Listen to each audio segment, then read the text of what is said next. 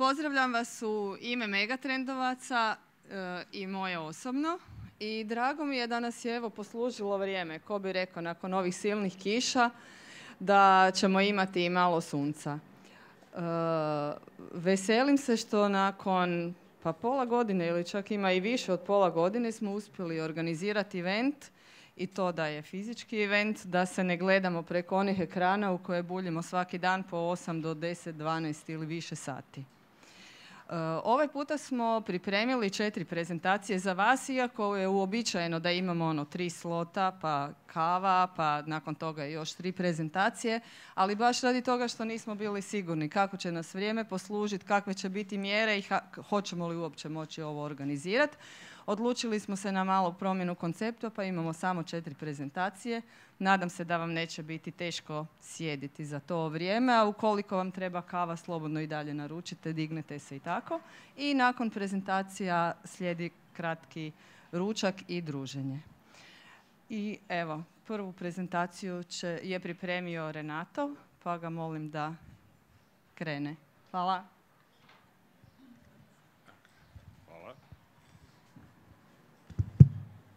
Dobar dan svima. Moram se šalabahte uzeti, ovo su sve nove teme, ne da se to tak samo zapamtiti.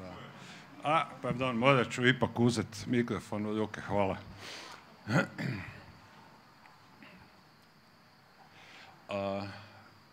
današnja cijela, sve teme su na neki način vezane na cloud, cloud pack, sve što se dešava oko toga, promjene u logici, razmišljanju, ponašanju i tako dalje. Pa se nećemo pretjerano baviti tehnikalijama, nego više promjenama u konceptu, u načinu rada, u organizaciji rada, a u ovoj prezentaciji malo s pogledom na onaj osnovni storage dio gdje jesu vaši podaci.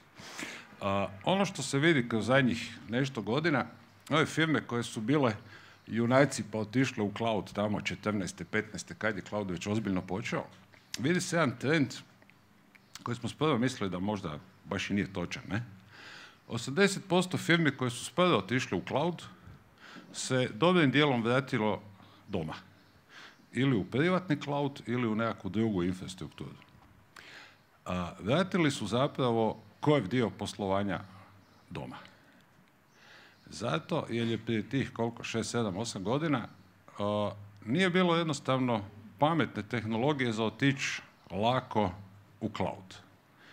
Preselili su se tak kak su imali doma. To kad su imali doma su preselili negdje. Bilo to virtualno, fizičko nešto. Iznajmili se resurs, se preselili aplikaciju, bazu i tako dalje. Jedan od glavnih argumenata je bila cijena tipa cloud je jeftin. Onda se pokazalo da cloud baš nije tako jako jeftin u takvoj tehnologiji niti da je pretjerano fleksibilan i siguran. Ono što je sigurno ostalo u cloudu, i to vidimo svi danas, su ove, ja ću to zvati, okolne stvari.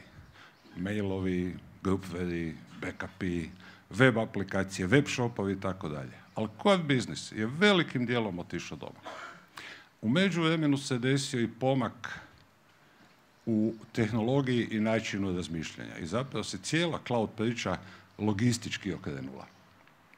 Danas imamo zapravo ogroman broj firmi koji koriste više od jednog clouda. Kažu da u prosjeku pet, prosječna firma na svijetu, svjetski prosjek, koristi do pet cloud sustava. Što privatnih, što javnih. Zato li im je to tehnologija omogućila i organizacija rada i način rada. I za cijele te priče zapravo ona osnovna, osnovna stvar svega su podaci. A, podaci, manji dio, 20% podataka na svijetu uopće je podaci koje možete pretraživati, organizirati, suvislo baratati s njima, transformirati ih, ne znam šta. Ogromna količina podataka i to su novorođeni podaci. Customer experience, sve ovo što vidite okolo po razno raznim socijalnim web shopovima ili ne znam čemu. Rađa se nova hrpa podataka koje je zapravo teško, teško uhvatiti, teško obraditi na pametan način. Prvo zato su svuda, Drugo, zato nema pretjerano pametnih mehanizama kako ih obraditi, odnosno nije bilo pametnih mehanizama. To se promijenilo. I zapravo onaj koji ima dostup do svojih pametnih podataka i dobro barata s njime u stravičnoj prednosti, razvijati i modernizirati poslovanje, odnosno davati nove usluge. I tu je zapravo ovaj, razlog zašto je sad ponovo veliki, veliki drive u cloud. No, pardon.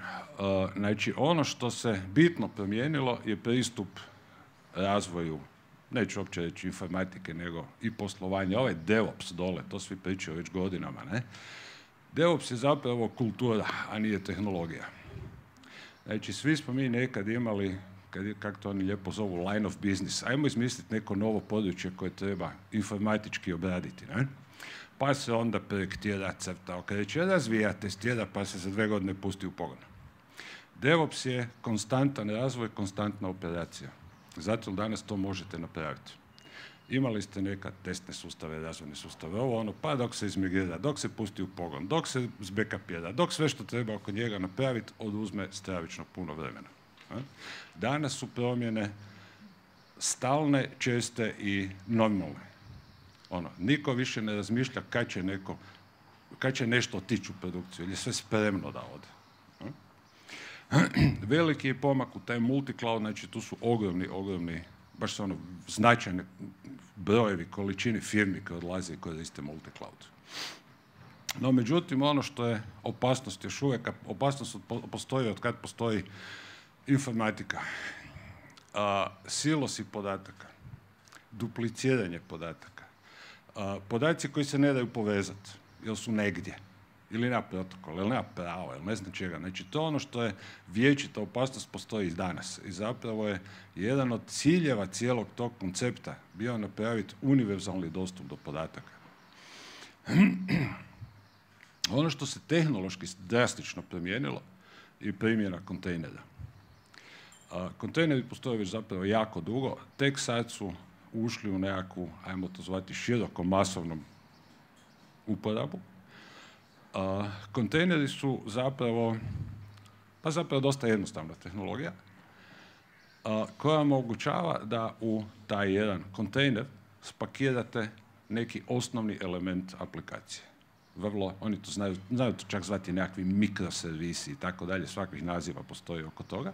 No međutim, radi se o logici da više nemate jednu ogromnu monolitnu aplikaciju, nego se aplikacija razdijeli po logičkim cjelinama i svaka cjelina čini svoj neki kontejner s kojim se lako upravlja i barata. Kontejnere može probati bilo ko, dok je besplatan, instalirate na PC, preselite svoju aplikaciju kakvu god u kontejner, i imate aplikaciju u kontejneru. Ono što je tu kaže gore, postoji opasnost, ne postoji opasnost, postoji sigurno. Sigurno će biti komplicirano. Znači, onog trena kad potegnete tri kontejnera u dokeru, stvari postaju nepregledne, u najmanju ruku. Znači, užasno je teško baratati sa pojedinim kontejnerima ako nemate sustav oko toga. Zato je izmišljen Kubernetes. Kubernetes je sustav za upravljanje, odnosno kako to oni kažu lijepo, orkestracija sustavima kontejnera. Znači, on se brine o podizanju kontejnera, gašenju kontejnera, sigurnost da uvijek radi, upravljanje sa više hardvera u isto vrijeme, znači mi će one kompleksnost upravljanja sustavom od vas. Kubernetes je Google produkt odnosno ideja, već dugo, 15 i više godina. Negdje 2014. 15. su ga pustili u javnost, mada su ga prije toga koristili deseta godina za sebe, koriste ga i danas i oni doslovno dnevno ili tjedno publiciraju milijarde kontejnera. To zapravo sve što koristite na Google je u nekom kontejneru bez da znate i vidite, to je negdje otraga i vrti se bez znanja korisnika. No i sam Kubernetes je težak za administraciju i fale mu neke krucijalne stvari. Uh, rašireni security, recimo, uh, upravljanje sa uh, nadzorom, monitoring i tako dalje. Ono što, kontejner, što Kubernetes radi, pouzdano i uvijek, garantira da će se vaši kontejneri vrtiti. Jedna od klasičnih priča, recimo ovdje je primjer s nekakvom Redis bazom, ali što god da je. Kažete ja želim imati uvijek tri žive instance, di god one jesu kod vas, u cloudu, u drugom cloudu, u trećem cloudu, nevažno. I Kubernetes se brinu da, su, da uvijek ima toliko instanci koliko ste rekli. širit će ih sam po zahtjevima za performanse. Ako sistem uđe u nekakav nedostatak performansi, dići će nove instance, dodat će nove resurse.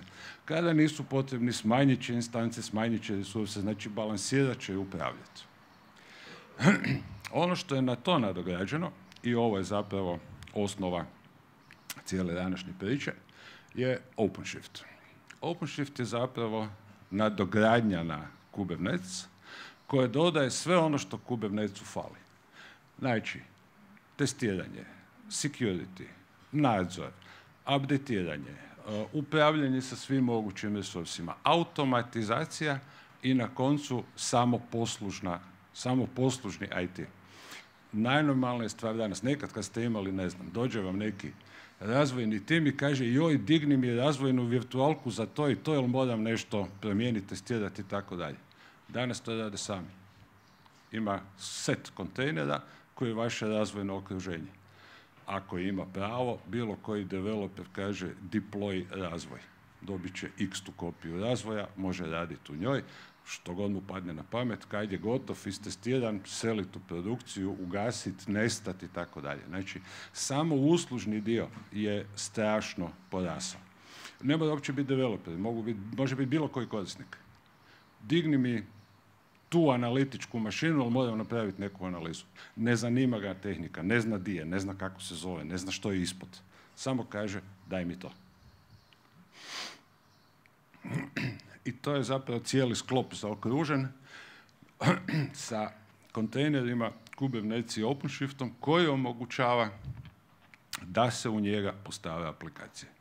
I tako je IBM napravio cijeli set, oni to zovu Cloud Packs. Nije aplikativno, nije ništa novo.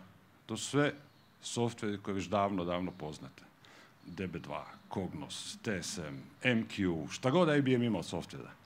Samo su ih sad postavili u kontejnere, preselili i pustili u upotrebu kroz OpenShift sustav. A, prvo najjednostavnije razliku koju vidite kako se instalira.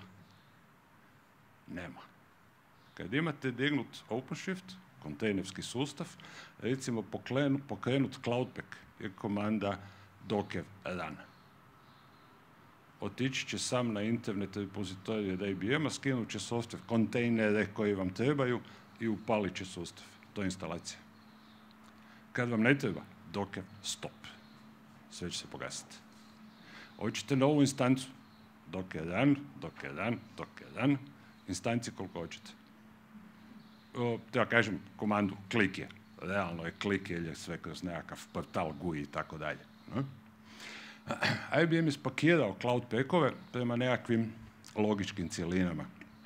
Što oni zapravo rade? Pa tako Cloud Pack for Data koji će biti poslije detaljne prezentacije set ono što se tiče data. Baze, ETL-ovi, BI-evi, analitika, data. Pa Cloud Pack for Automation, tu su unutra biznis procesi, uh, analize, dizajn, uh, razvoj i takve stvari. Imamo integration, MQ-ovi, ETL-ovi, messages, znači sve ono što je nekakva integracija podataka. Cloud Pack Security koji ćemo isto danas posebno čuti. Network Automation je zapravo kompletan network nadzor i upravljanje, odnosno baš automatizacija.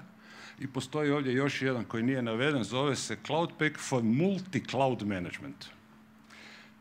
To je ovo kad imate cloud doma, cloudu jednom, cloudu drugom, cloudu trećem, da ne morate svuda okolo raditi management upravljanje, imate jedno mjesto s kojim upravljate svojim multi-cloudom. Tipično. Želim ta svoja dva dokera da stalno rade s mojom web aplikacijom. Jedan je kod mene, jedan je u cloudu. Znači koji god da padne, onaj drugi će raditi, vrtiti i tako dalje. Automatski sam riješio availability, disaster recovery, ne znam šta. Ali upravljanje sa jednog centralnog mjesta. Za vas je to jedan portal, di god da bio. Isto tako i seljenje. Hoćete preći sa Amazona na Google. Nakon što riješite ove legalne stvari, treba neki prostor zakupiti, ugovoriti, ne? Migracija je Docker run na Google. Ono što je lijepo u cijeloj priči, sa svim tim cloud packovima, IBM podržava i svu svoju hardware infrastrukturu koju ima, odnosno koju već potencijalno imate. Znači na bilo kojoj platformi Intel PowerZ ili na bilo kojem storage sustavu koji imate možete pokrenuti OpenShift kontejnere i raditi u tome. I transparentno je neovisno o tome gdje se nalazi. I management je isti za sve skupa. Znači možete početi doslovno s onim što sada imate. No međutim ono što se postavlja uvijek pitanje i tu je vezana storage. Data management, ne? Ok, imam ja kontejner koji nešto radi, vrti i tako dalje. Ali gdje je moj data? Gdje su moji podaci? Kako ću ja seliti podatke iz privatnog klauda u javni cloud, u drugi javni cloud, natrag, da bude sigurno, kriptirano, s pravima dostupa, apsolutno pouzdano, podaci moraju biti čisti, podaci se ne smiju zmazati u transportu ili koruptirati ili nešto. kako ću upravljati resursima? Tu mi fali mjesta, tamo imam viška mjesta. Kako, kako dodajem mjesto, smanjujem mjesto. To je data management sa strane ovog low level hardware storage pogleda. ono što je kod kontejnera ovako malo čudno na početak ljudima, oni imaju za to nekakav krasan izraz, kažu da su kontejneri efemalni, ne mora se neći gledati knjigu šta to znači. Kad kontejner ugasite, nema vaših podataka. Kontejner je dizajniran kad ga ugasite da se vrati na ono što je bio na početku. Ko da vaš telefon resetirate na tvorničke postavke. I to je glavna logika. Stavio sam aplikaciju u kontejner i želim da je ona uvijek takva. Dok ju ja sam ne promijenim. Kad upali kontejner, on radi, čuva podatke, piše logove, piše podat ne znam šta. Kad ga ugasite, svi vaši podaci nestaju. Vraća se na prvobitno stanje. Što baš nije pretjerano prihvatljivo jel da u poslovanju. Pa su onda naravno izmislili postoji nešto što se zove persistent podaci. E, to su podaci koji traju za uvijek. Znači, vi svoj kakav god kontejner spojite na neko područje koje je persistentno. Tu se čuvaju vaši podaci. I to je riješeno zapravo na dva načina. Naime, cijela logika storage čiji god da jesu, kakvi god da jesu, se drastično promijenila pojavom kontejnera. Sa storageima smo uvijek baratili na isti način. Napraviš nekakav disk, virtualni disk, prostor, šta god, definiraš neki host, server, nešto i povežeš host i server. I to je bio način rada sa storageom. U tom trenu vaš server vidi taj disk, neke veličine i koristi ga. U cloud svijetu sve je dinamički. Sve se radi onda kad se treba napraviti, bez da znate pozadinu. Vi u kontejneru tipično kažete request volume. Ne zanima vas koji je kakav i gdje. Kažete daj mi 100 giga podataka i on će vas spojiti 100 giga prostora. Ono što možete upravljati, postoji unaprijed se definira kvaliteta tog prostora. Unaprijed se definira, ne znam, brzi storage, srednji storage, spori, veliki storage, ovakav, onakav recimo ako se brzi storage, što strašno vole govoriti, ne znam zašto, brzi storage je uvijek gold storage. Ne? Neki normalan je uvijek silver storage, da ga možete nazvati kako god želite, a neki ono veliki spoj je nekakav bronze storage. vi kažete, ne znam, pokrenut ću svoju transakcijsku aplikaciju, treba mi brzi storage. Connect, volume, gold. Kraj priče. On će spojiti na određeni storage koji zadovoljava potrebe koje ste definirali, pokrenut će vaš docker. Dva su zapravo načina, dva svijeta storage postoje u kontejnerima. Ovo je tamo klasičan storage koji smo imali, koji imate i dan danas, koji možete paralelno koristiti. I on je s tim famoznim CSI, odnosno Container Storage Interface, povezan u ovaj OpenShift kontejnerski svijet. I on slijedi sva ta pravila dinamike connect, volume, kraj priče, nema dalje, on će to sve odraditi. I drugi svijet koji je došao još od prije, sa samim Kubernetes, je zapravo storage izgrađen od prostora u serverima. Znate, puno servera s puno diskova, ti diskovi se isto tako oduzmu, izalociraju i u, njega se vrti, u njemu se vrti software defined storage, znači unutar istih servera imate i resurse procesorske, memorijske i tako dalje, i resurse za korištenje prostora. Svi oni mogu biti i moraju biti više lokacijski, je private cloud, public cloud, i oni se brinu o tome da podaci putuju vamo tamo i da budu sinhronizirani i uvijek točni. Razlika u korištenju je ako ste na vrlo opterećenim stvarima, transakcije, ogromni brojevi podataka i tako dalje, u principu ste vezani na storage svijet. Ako je normalni use, klasični podaci, failovi, mailovi, ne znam šta, software, u, software defined unutar servera je više nego dobar. Ono što imamo danas jednu razliku, Spectrum Scale je jedan krasan komad storage software IBM već jako dugo postoji, jako dugo se koristi. Njega su dogradili da može biti native, bez obzira što je storage sustav, native storage unutar Kubernetes, odnosno unutar OpenShift i ponaša se kao jedna, jedan docker unutar OpenShifta. Znači razgovaraju kontejner, kontejner, docker, docker. Znači potpuno su maknuli bilo kakvu hardversku ovisnost, management ovisnost, jednostavno je sastavni dio OpenShift sustava. Sa nekakve uporabne strane, znači svi IBM storage su podržani bez iznimke, svi mogu biti native spojeni u CSI, odnosno u taj container storage interface. Imaju taj orkestraciju. Orkestracija ovdje znači da vi storage više nikad ne vidite. Ne upravljate u storage upravljate sa storage kroz OpenShift. Vi u OpenShiftu kažete daj mi prostor, a on će se pobrinuti da radi sve ostalo ispod. izbacili su nešto što se zove storage suite pošto ovdje dole govorimo o puno softverskih produkata, a i razno raznim hardverima, onda je strašno nepraktično kupovati i licencirati komad po komad. I zapravo u konačnici nikad nije točno, previše je opcija. Izmislili su Storage Suite koji je zapravo licencni model. Licencirate Storage Suite, dobivate pravo na sve, svi produkti koji postoje, u količini koju ste izlicencirali slijedi način licenciranja OpenShifta. Znači u jednom licencnom modelu ste zapravo riješili sve skupa. I niko vas ne pita koji komad softvera koristite, ne koristite tako dalje. Pravo korištenja je na sve. I ono što je sa strane napravljeno, to je dosta dugo falilo, je zaštita svega toga. Backup. Znači cijeli Spectrum Plus je isto tako u kontejnerima i backup se vrti unutar cijelog vašeg private ili public clouda.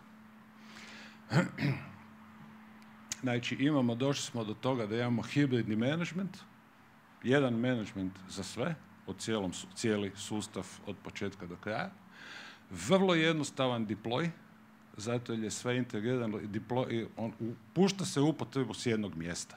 Ne morate više ići konfigurirati storage, pa servere, pa mreže, pa ovo, pa ono. S jednog mjesta ide deploy, on to samo da radi svuda okolo. Znači što god ste vi definirali, sam će na svim uređajima iskonfigurirati. I naravno, data resiliency, odnosno očuvanje, baratanje sa svim podacima. Sve u jednom kompletu, u jednom sustavu. naravno, sve to skupa je integrirano i sa svim ovim Cloud Pack integrirano je sa OpenShiftom, pa onda svaki Cloud Pack podržan kao takav. I zapravo je, kao bih rekao, strašno jednostavno i modularno. OpenShift možete podići u vašem postojećem VMware-u na 3-4 virtualne mašine i početi raditi s njim. Kad ga prerastete, dodajete novu, sam, sam će se širiti. Morate, morate ga definirati, doslovno jedan klik, definiraj WebCap node, novi server raširit će se sam. Definiraj novi storage, raširit će se sam. Znači, krenite sa minimumom za učenje, proučavanje, igranje i raste po potrebi koliko je. Ono što je zgodno OpenShift pozna odmah u startu, takozvani multi-tenant. Uh, možete više firmi ili više odjela ili više čega, više organizacijskih cijelina staviti u isti OpenShift da su apsolutno potpuno odvojeni što ljudi strašno onda vole koristiti ili za razvoje testove, odjelne stvari i tako dalje. Znači opet ne morate brinuti o separaciji razno raznih podataka. Sa nekakve platformne strane, ovo je sad već hardware pogled, kompletan portfolio IBM Storage je podržan, native na isti način, uz dodatak na Spectrum Scale koji je baš kontejnerski spremljen u sam OpenShift. Znači ona tamo lijeva strana flash system, bivši uh, Storybase, postoji u varijanti koja se zove uh, Spectrum Virtualize for Cloud. To nije ništa drugo nego isti software koji se vrti u vašem flash sustavu instaliran u cloud. Bilo koji. AWS, Azure, Google, IBM, vaš privatni cloud na koncu. Znači imate dva jedna softverski, dva jednaka storage sustava. Bez obzira di su i na čemu se vrte. I automatski su spojeni. Automatski dijele podatke. Automatski možete mijenjati gabarite, dodavati, smanjivati. Ista stvar je s ovim, oni to zovu storage for Z, DS8800, 9800 i ovi Object i Elastic, ovo isto tako možete imati private public cloud. Radi se, više manje se radi o načinu pristupa do podataka među svima njima, ali pristup je univerzalan. Koji god da je, uvijek ćete doći do podataka. I ono što kažu, i to je glavna osnova svega, sve to skupa je zapravo jednostavno s korisničke strane. Znači, vrlo jednostavno za uspostaviti, koristiti, upravljati. Dič dev site, to je nekad bio X projekt, ne? I to veliki projekt. Private cloud, public cloud, reći OpenShiftu, raširi se,